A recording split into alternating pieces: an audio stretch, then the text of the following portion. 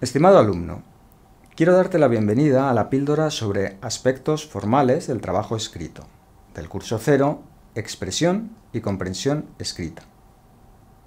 Pensarás que lo esencial de un trabajo académico es su contenido.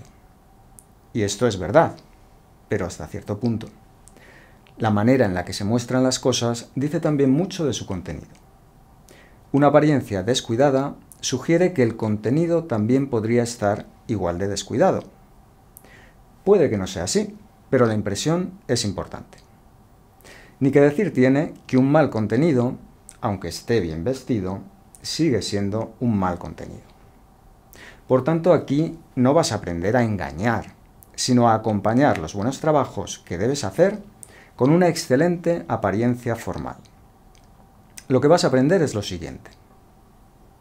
Aprenderás a valorar los aspectos formales. Comprenderás la importancia de organizar cada página. El curso te ayudará a dar formato a los textos de manera adecuada.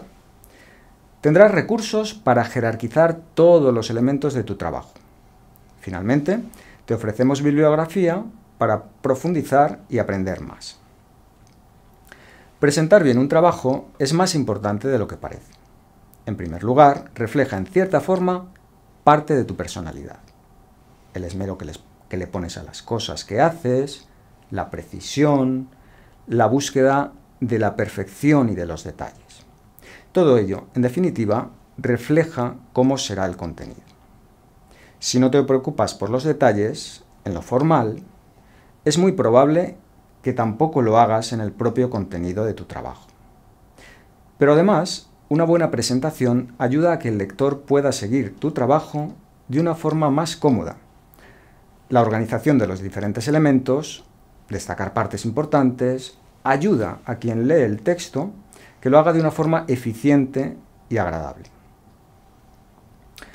El primer aspecto que debes considerar para dar forma a tu trabajo escrito es cómo vas a preparar tu página.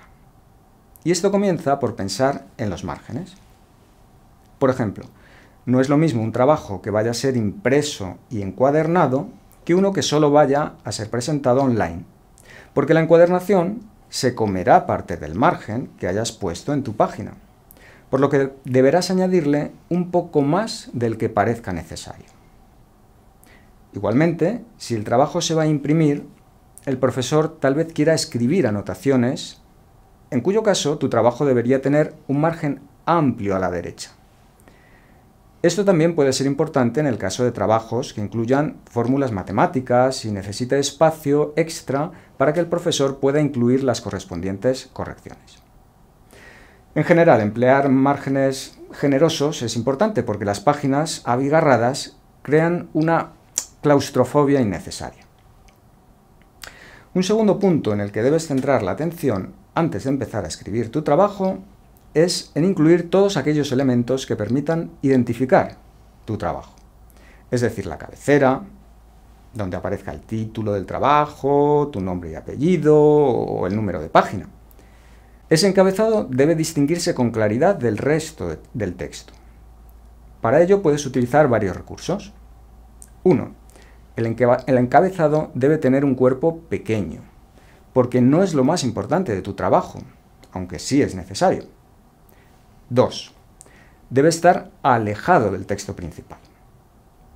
Estos dos recursos son imprescindibles, aunque podrías añadir otros como una tipografía diferente o una línea de separación. Hay muchas posibilidades, pero debe diferenciarse y no resultar molesto.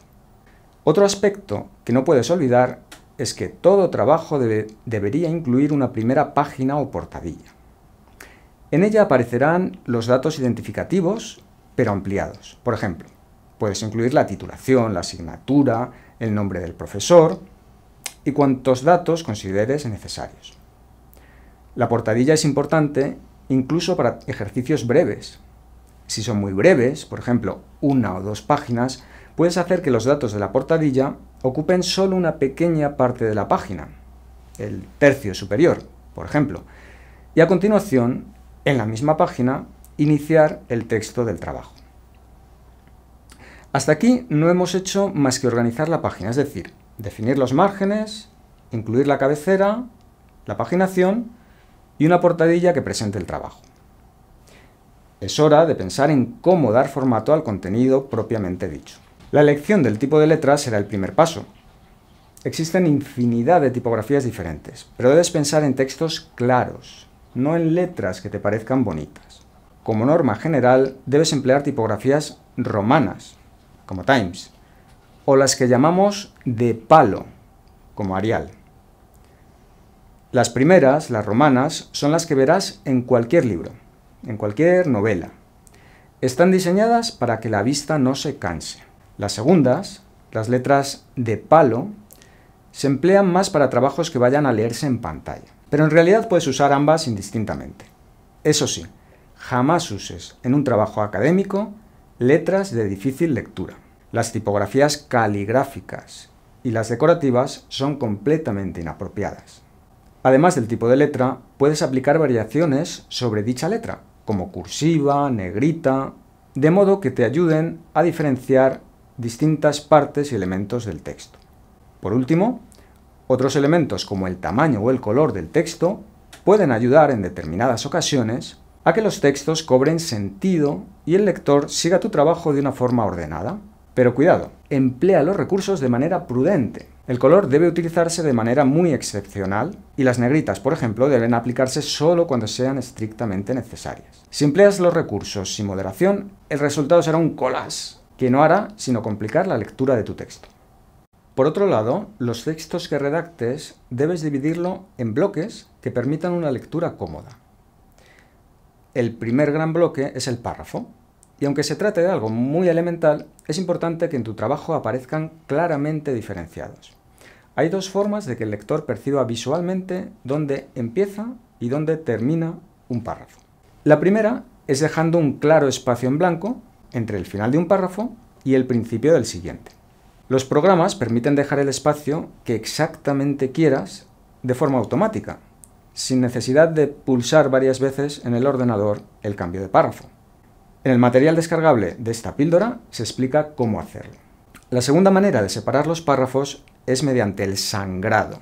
La sangría o sangrado es el espacio adentrado que se le da a la primera línea del párrafo. Pero cuidado, usa solo uno de los dos recursos, o separas con espacio o adentras la primera línea. No emplees a la vez los dos porque es innecesario. Otro aspecto que debes cuidar al trabajar con párrafos es su alineación. Generalmente los textos se justifican, es decir, empiezan y terminan en un mismo lugar. De esta manera forman visualmente un bloque, un rectángulo, que resulta agradable y contundente. Así se escriben los periódicos, las novelas, Casi todos los textos se justifican. Pero a veces las líneas de los párrafos se organizan de forma caprichosa y rompen con la armonía visual, lo que hará que el texto se lea de forma más difícil y lenta. Si se produce esto, deberías reescribir ligeramente el texto para que el párrafo se remueva y la apariencia mejore. Un último aspecto a tener en cuenta con los párrafos es que debes evitar que estos comiencen o terminen en una página con una única línea, a estas líneas solitarias se las denomina viudas y huérfanas. Se intenta evitar porque rompen la armonía de la página. En la página izquierda tienes una línea huérfana. Lo correcto sería que tuviera al menos dos líneas finales en esa página. Y aquí tienes un ejemplo de línea viuda. Además de controlar la apariencia de los párrafos, un elemento esencial en la presentación de un buen trabajo es la agrupación de párrafos en bloques. O dicho de otro modo, resulta fundamental que fragmente su trabajo en partes para que el lector sepa qué es lo que está leyendo en cada momento. Es necesario que los epígrafes realmente se vean. Si no se distinguen del resto del texto, pasarán desapercibidos y dejarán de ejercer su función. Por ejemplo, aquí no hay más que un amalgama de textos. En este caso, la jerarquía es mucho más clara, pero todavía se puede hacer mejor. Si numeras los epígrafes, tu trabajo ganará en claridad. Para concluir, piensa que lo que estás haciendo al dar forma a tu trabajo es establecer jerarquías para organizar la información. El uso de diferentes tipos de letra, por ejemplo, una para el texto general y otra para los epígrafes, te ayudarán a jerarquizar. El empleo de tamaños diferentes También ayuda a destacar lo primordial de lo secundario, como puede ser una nota al pie, que siempre será más pequeña que el texto general. Buscar una posición ordenada de los elementos, por ejemplo de gráficos, fotografías, en lugar de dejarlos de cualquier manera, también aporta claridad a tu trabajo. Y excepcionalmente el color, y siempre que no moleste y se lea con claridad, puede ayudar a crear jerarquías. Recuerda que en definitiva lo importante es que tu trabajo tenga estructura, claridad y orden. No busques simplemente lo bonito sino lo ordenado y lo que ayude al lector. No cojas la calle de en medio. Jamás deformes una imagen. Puede que no consigas que la imagen encaje en el espacio que te gustaría que ocupara. Pero debes buscar soluciones que ayuden, no que confundan a quien lea tu trabajo. Ahora que estamos terminando, es el momento de volver al principio. Seguro que después de lo que has aprendido, no te gustará esta diapositiva con la que comenzamos la presentación, porque las líneas no se encuentran bien distribuidas.